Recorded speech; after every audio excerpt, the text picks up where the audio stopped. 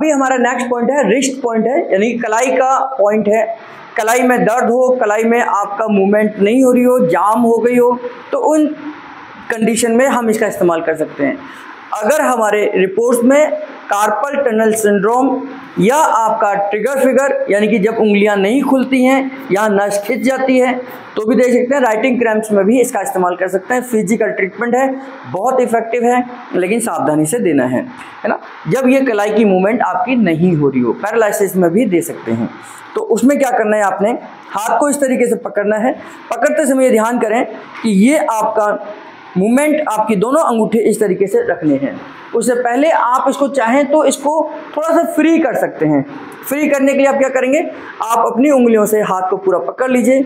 चार पाँच बार क्लॉकवाइज करिए।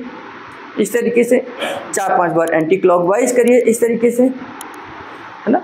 क्लॉकवाइज और एंटी क्लॉकवाइज करने का थोड़ा लूज किया हमने। ऊपर नीचे किया, दाएँ बाएँ किया तो ये कलाई लूज हो गई। अब आप इसमें रिस्ट पॉइंट देंगे। उसमें क्या करेंगे? अब पूरे हाथ को आप इस तरीके से ग्रिप करके, दोनों अंगूठों को आप बीचों बीच रखिए।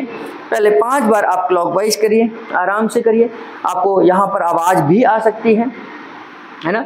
और पाँच बार एंटी क्लॉकवाइज करिए। ऊपर नीचे करिए। और ऊपर नीचे करनी है पाँच भी, पाँच सात बार करना है, पाँच बार छः बार, सात बार कर तो हल्का सा जर्क देना है है ना? तो पाँच बार छः बार देने के बाद ये हल्का सा जर्क देना है। जर्क देते समय पेशेंट को बताना नहीं है कि जर्क देना है, नहीं तो वो टाइट कर लेंगे और उससे आपको दिक्कत हो सकती है उनको। तो आप हल्का सा उनमें ऊपर नीचे अप डाउन अप डाउन करिए और उसके बाद हल्का सा जर्क देंगे।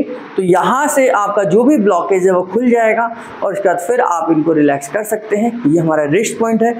कलाई से रिलेटेड कोई भी दिक्कत है, किसी भी प्रकार की ब्लॉकेज है, कोई भी स्टिफनेस है, इसको आप दूर कर सकते हैं। ये बहुत इफ़ेक्टिव है।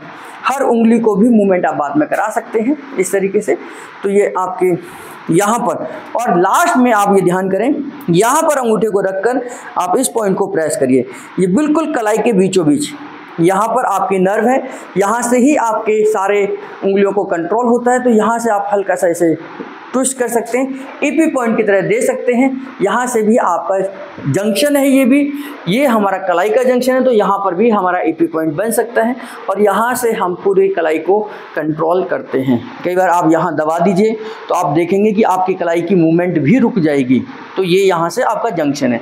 तो इस पॉइंट को आप चार पाँच बार क्लॉक वाइज ऊपर नीचे आप वाइब्रेट करिए, जैसे ईपी पॉइंट देते हैं वैसे दीजिए तो आपकी कलाई खुल जाएगी। तो कलाई से रिलेटेड पॉइंट्स में आप इसका इस्तेमाल कर सकते हैं। रिस्ट पॉइंट इसका नाम दिया गया है।